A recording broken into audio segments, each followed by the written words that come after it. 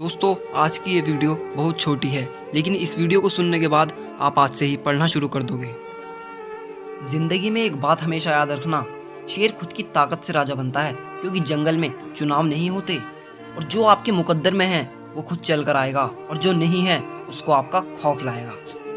देर से बनो, पर ज़रूर कुछ बनो, क्योंकि लोग खैरियत नहीं, हैसियत पूछते हैं। जब अकेले चलने लगा, तब समझ आया, मैं भी किसी से कम नहीं। और इस दुनिया में हर एक काम आसान होता है।